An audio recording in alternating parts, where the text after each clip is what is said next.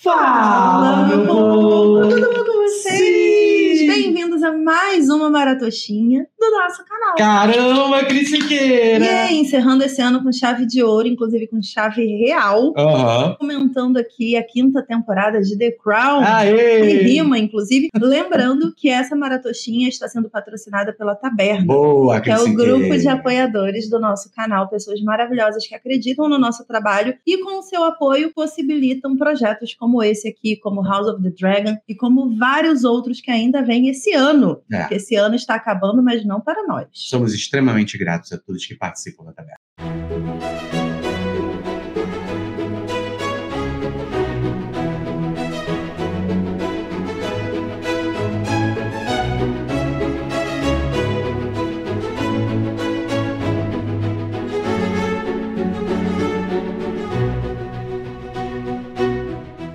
Você quiser apoiar o nosso canal, o link está sempre passando aqui na tela e também na descrição dos nossos vídeos e das lives. Boa! Como funciona a Maratuxinha para quem não conhece, Panda Mendes? Então, a gente vai estar aqui a cada dois episódios. Nesse vídeo, a gente vai falar sobre o primeiro e o segundo episódio de The Crown. Aí você pode vir aqui assistir todos os nossos comentários. E aí volta para assistir o episódio 3 e 4. Porque quando você assistir, já vai ter um novo vídeo aqui para você acompanhar essa Exatamente. maratona junto conosco. Algumas séries, principalmente as séries que são um pouco menores, como episódios de meia hora, 40 minutos, a gente costuma fazer um vídeo por episódio. Dependendo da série também, se tiver muito pra falar sobre um arco só, É, a gente vem aqui e faz. Mas eventualmente as maratochinhas também são assim como essa de The Crown. exato. Condensam dois episódios em um vídeo até pra agilizar. Como é uma série muito grande, de episódios muito longos, faz mais sentido vocês assistirem a cada dois episódios como um filme, que é mais ou menos como eles estruturam o roteiro. Geralmente esses episódios duplos, assim, eles se emendam e É. conversam entre si. Exato. E aí vem aqui aliviar um pouquinho a cabeça, batendo papo com a gente pra ver nossas impressões É. e trocarmos algumas perspectivas sobre essa história, porque The Crown é aquele tipo de série que a gente vai assistindo e vai pesquisando no Google, Uhum. vai vendo o que é verdade e o que é mentira. Uhum. Então a gente vem aqui também aliviar um pouquinho essa pressão. Então, Cris, mas eu acho que a partir dessa temporada, pelo menos a gente Uhum. vai consultar menos o Google.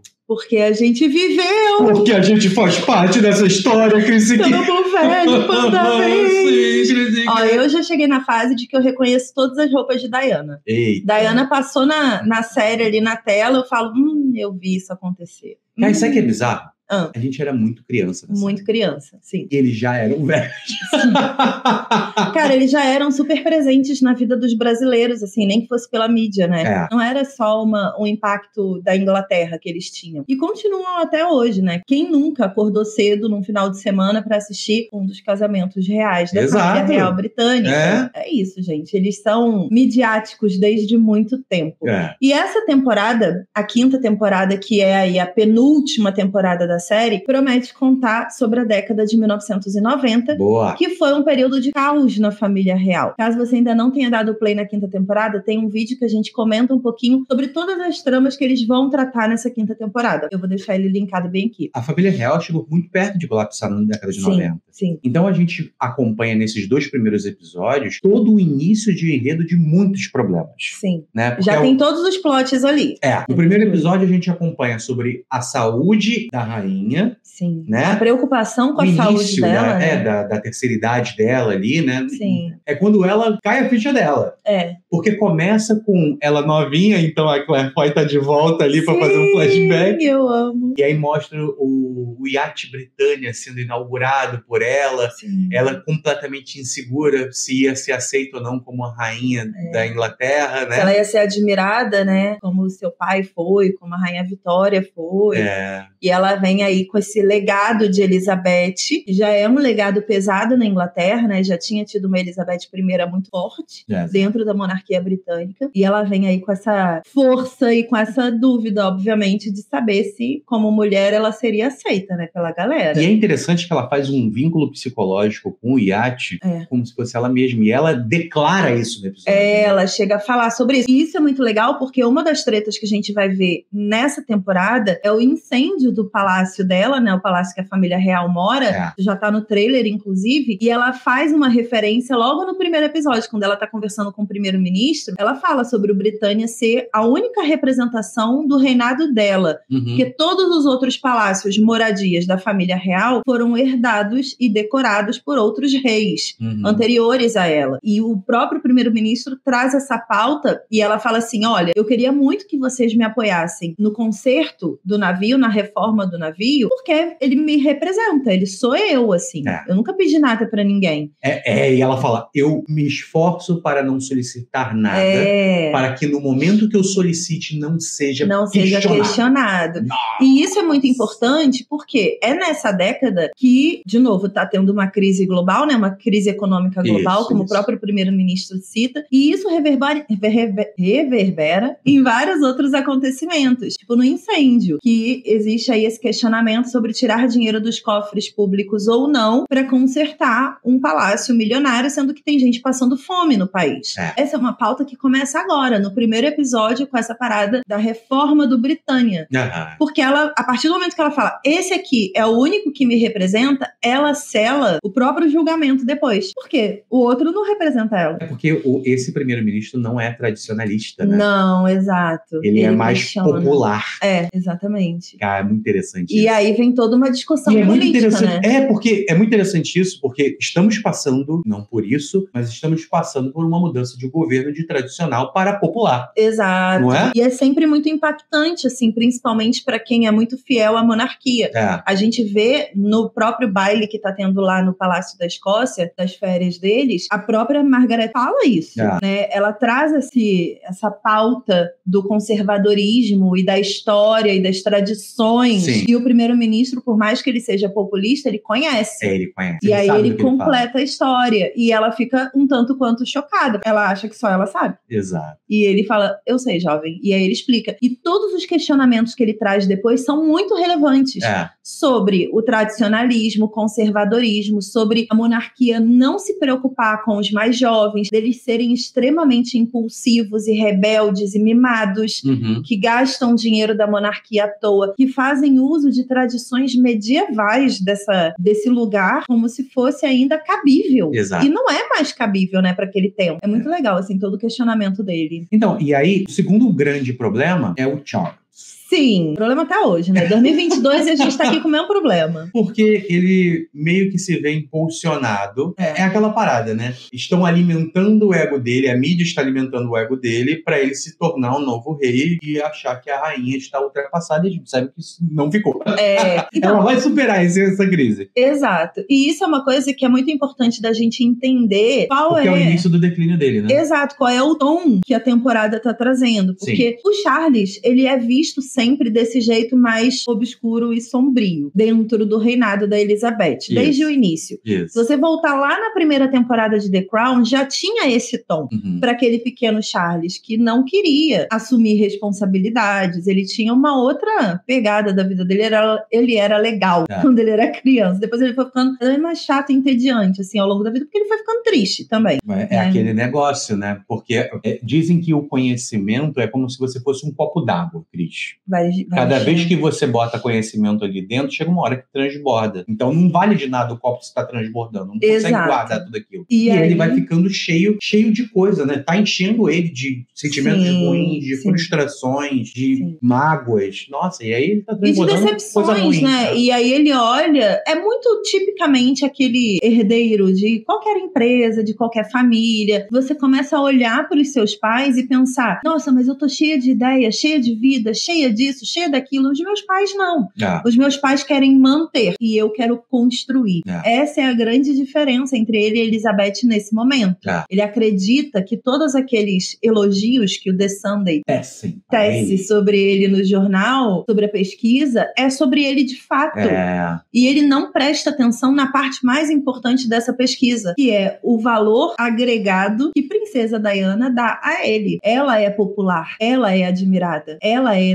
falecida, não ele. Exatamente. E aí ele ganha popularidade por conta dela. E, de novo, o primeiro-ministro sabe e verbaliza isso. E ele foi burro. Não é só Não só ele, né? Mas a equipe dele também, porque a Ninguém equipe dele fica observou. levando esses estudos pra ele, mas é baseado 100% numa visão de que a princesa de Gales era só uma joia ali do lado dele, Sim. enfeitando e brilhando, enquanto ele de fato era o dono daquela joia. E todo mundo É acha ela? Fútil. Você vê no iate no primeiro episódio, né? Quando ela fala que gostaria de ter um momento de compras nas férias, a cara de todo mundo na mesa, a galera que nasceu em berço monárquico, porque ela não nasceu em berço monárquico, mais que ela fosse a prima B da família tal, ela ainda ela não era diretamente da monarquia, né? É. E a galera com uma cara assim, parece que tava com um saco de cocô embaixo do nariz, tá? Todo mundo fazendo caras e bocas nojentas assim. E eu fiquei, cara, qual a necessidade, sabe, de fazer uma coisa dessa É. e de expor as vontades dela de uma forma tão negativa e tão pesada? E ela ficou feliz, Enfim. né, com essa segunda lua de mel. Sim, E era porque um ela queria ser feliz, né? de mídia, né? É, uma Nossa, pena, né, cara? cara. E aí, de novo, vou falar, devo ter falado isso na quarta temporada, não lembro. Inclusive, eu tenho conteúdo aqui no canal de todas as temporadas. Boa! Pra quem quiser assistir, vou deixar a playlist de The Crown bem aqui na descrição também. Sim. Gente, se eu esquecer de deixar qualquer link aqui. Só pede nos comentários. pede é nos comentários que eu dou? Acontece. Exato, que maratochinha a gente vai Correndo. assistindo, gravando, assistindo, gravando dias antes da estreia. Então, assim, por gentileza. Sim. Eu choro muito com a Diana. É. Muito, assim. Todos os momentos que eu vejo que ela tá muito triste, que ela tá pesada, que ela tá sofrendo, que as pessoas estão julgando, que ela tenta e ninguém ajuda, ninguém colabora. Tipo, a própria aparição, assim, da Camila na primeira cena Sim.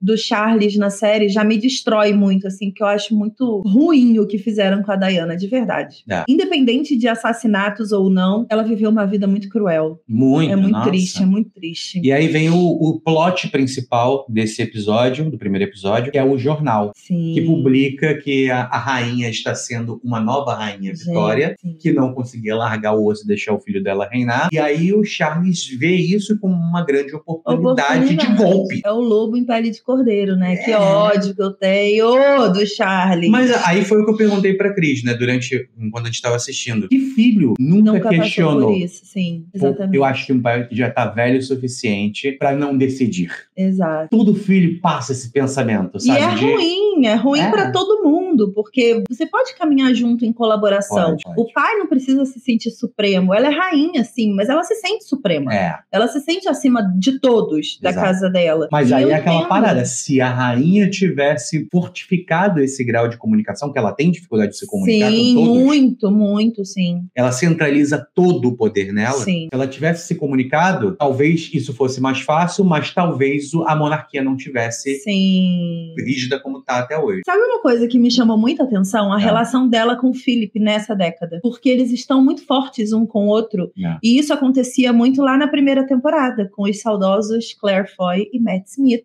Sim. E eles tinham essa É bem o dinâmica. resultado daquela, daquela, daquela década, evento, né? sim, porque eles tinham essa dinâmica e a gente via muito isso na primeira temporada, de quando acontecia alguma coisa e ele ia pro quarto dele, ela ia pro dela, ou se arrumando pra algum evento, eles se encontravam ali naquelas salinhas entre os quartos deles e conversavam, trocavam uma ideia. Ele muito mais impulsivo do que ela, ele É. muito mais ativo do que, do que ela, e ela muito mais diplomática e polida. E aí depois, na segunda, na terceira e na quarta temporada, eles tiveram um distanciamento muito grande É. de ações conjuntas. E aí volta agora aos 60 anos, né? Ele um pouquinho mais velho que ela, mas ainda na década dos 60 anos de cada um deles, juntos de novo, conversando de novo, se apoiando. Ele fala, né? Fico muito feliz com isso que a gente tá fazendo. A ela, mas isso não é casamento? É. Aí ele é, ué, mas tipo, eu fico feliz, porque ele é assim, né? Ele é mais emoção. E ela é muito mais razão. E ela fala: por que você não resolve isso? Por que, que você não faz? Porque ela entende que ele é melhor para assuntos da família que tenham a ver com razões, com emoções e sentimentos, e ela é mais de segurar a rédea, né? É. Um pulso firme, assim, para algumas coisas. Aí você vê que ela aceita mais o apoio dele também, em algumas situações Exatamente. ela se apoia mais nele, que era uma dificuldade nas temporadas anteriores que ela tinha. Eu achei isso muito legal,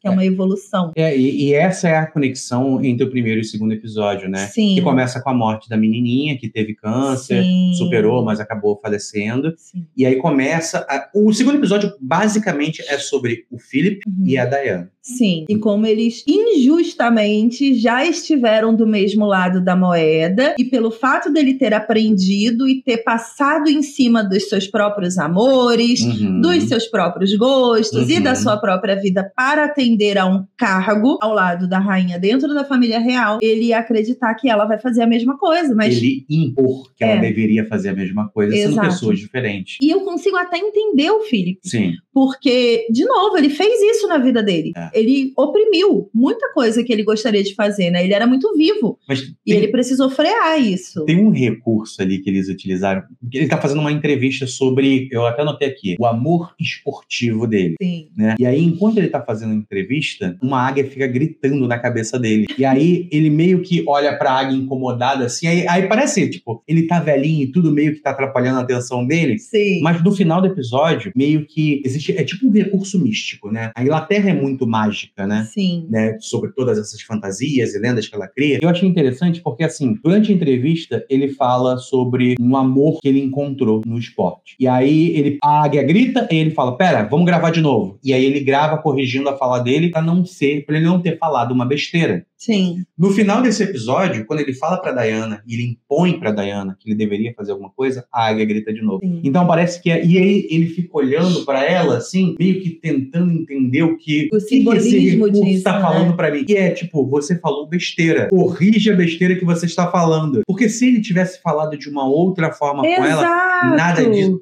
muita coisa poderia não ter acontecido. E ela fala, né? Vocês só querem que eu fique em silêncio. E, E ele. não é isso. É, não era pra ser Exato, assim. mas ele, por mais que ele seja mais emoção, ele é homem. É. Então ele tem uma outra visão de mundo. Exato. Ele, quando quis entrar num navio e ir pra Austrália e viver o ano sabático dele curtindo a vida doidado, ele fez isso. É. E ele expôs a Rainha Elizabeth. Ele Sim. se expôs pra mídia também. Ele expôs a família real. E foi colhendo as consequências disso que ele aprendeu. Uhum. Então, esse discurso dele, ele é moralista, baseado em algo que ele acha que ela não é capaz de fazer, que é ser Sim. discreta. E é bizarro, assim, porque não é como se ela tivesse feito o que ele fez. Uhum. Ela não fez absolutamente nada à revelia, assim. Ela simplesmente procurou todo mundo pra conversar. É. Todo mundo bateu a porta na cara dela, sabe? E- Isso e- é bizarro. Ele fala, né, tipo, que a- o casamento dele fez ele se tornar uma pessoa melhor. É. E, e olha a construção desse episódio para ele se comportar dessa forma com a Diana. Primeiro, ele vai visitar lá os, os nobres, lá os parentes dele que perdeu a filhinha, e aí ele começa a meio que fazer uma tutoria de luto da, da mãe. da. Sim. E como ele é bom nisso, E ele né? é bom. Ele é então, bom e ele começa a se engajar, ele começa a se inflar, ele começa a se ver necessário. Sim. Então, tudo que ele fala deu tão certo nesse ponto aqui, ele começa a acreditar que tudo que ele fala dá Que certo. ele vai resolver igual pra todo mundo. E não é Exato. assim que funciona, Só que né? são pessoas diferentes com problemas reais diferentes. e convivências diferentes. Essa menina, ela vive há muito tempo na família real ao ponto de se dobrar.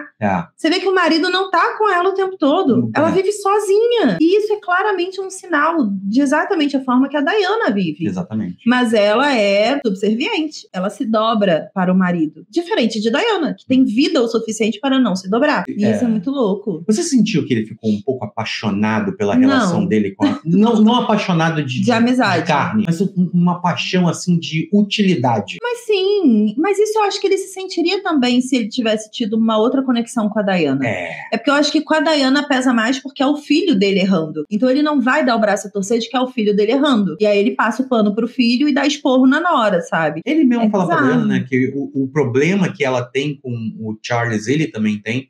Porque ele não consegue entender o Charles, porque o Charles é muito sentimental que nem ele, Sim, só que de uma forma diferenciada, né? sim. Porque, Ao invés de, do Charles ser aventureiro que nem ele, o Charles é um erudito, ele é um estudioso. Ele é mais e ele não quietão. consegue compreender isso. É. Por mais que. Olha, olha como ele se dedica para o negócio da carruagem, né? Ele estuda, ele pega vários livros, ele acompanha o processo, ele reconstrói tudo de uma forma muito primorosa, muito bonita. Sim. Mas ele não consegue ver que o filho dele, por mais diferente que seja, também é tão dedicado quanto. Quanto ele, sim. É. E o Charlie está sendo dedicado agora É. em destruir a própria mãe, mas Exato. tá sendo dedicado a alguma coisa. Dá pra ver como ele é quando se dedica, né? Uma coisa que me chama muita atenção é essa história da menininha também que morre de câncer. Uhum. é, que morre né, pouco depois do tratamento de câncer e tudo mais. Porque na temporada anterior a gente viu o que a família real fez durante muito tempo com os parentes que tinham algum tipo de doença. O quanto eles tiravam isso da mídia, escondiam as pessoas em outros lugares. Sim. Tanto que faz uma menção nesse local que ele encontra com a Diana sobre isso. Ah, eu achei que aqui, aqui é muito melancólico, porque é para onde você manda as tias loucas. Então, existe muito essa tratativa de jogar a sujeira e o problema da família real para debaixo do pano e esconder da mídia. Uhum. O que a Diana faz é literalmente tirar essa poeira debaixo do tapete. Isso. É expor para a mídia que existe um problema na família real. Tanto essa questão da Elizabeth ser atacada pelo The Sunday e ser chamada de inútil, desnecessária,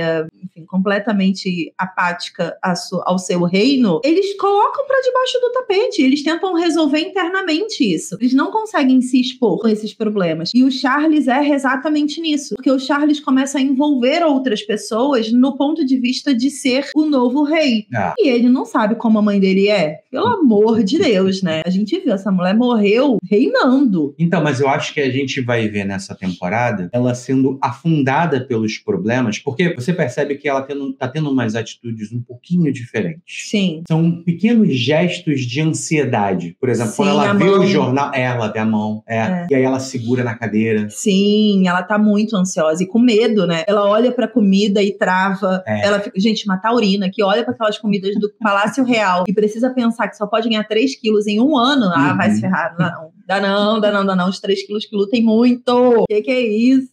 E eu a, vi aquele a- cinnamon roll maravilhoso. Eu falei, que é isso? e a filha dela interessada no, no novo ajudante lá da, da segurança. Sim, sim. É muito engraçado. Inclusive, uma das pautas dessa década é separação. E a Hum. própria Diana traz essa pauta, né? Ela se não dou seis meses para estar todo mundo aqui separado, que são os três filhos da Elizabeth e do príncipe Philip. Os três se separam nessa década, É. assim como previsto por Diana. Mas, como todo boa, toda boa maratoshinha, esse vídeo precisa chegar ao fim. Sim. Porque eu tenho certeza que você, do outro lado, assim como nós, está doido para dar play no terceiro episódio de The Crown, Vamos na ver. quinta temporada. Vamos ver quais mais problemas vêm por aí. Exato. Então, para você que já assistiu aos episódios 3 e 4 e quiser saber o que nós achamos dessa duologia de The Crown, dá uma olhada aqui no canal que já tem vídeo comentando o terceiro e o quarto episódio com toda certeza. Boa! Lembrando que você pode sempre dar print na nossa maratoshinha e postar tanto no Twitter quanto nos stories do seu Instagram com a hashtag maratoshinha The Crown, marcando a gente, arroba coxinha nerd. E a Rua Pana Mendes. Sim, e arroba a Cris Siqueira. Porque eu quero ver todo mundo assistindo a Maratoshinha e dizendo que tá assistindo a Maratoshinha. Esse é um projeto que a gente ama muito fazer. É. A gente já tem de vários outros conteúdos, mas em algum momento de agora até o final dessa temporada eu conto pra vocês alguns deles. Boa, Cris. Beijos! E daqui a pouco a gente volta. Tchau. Show.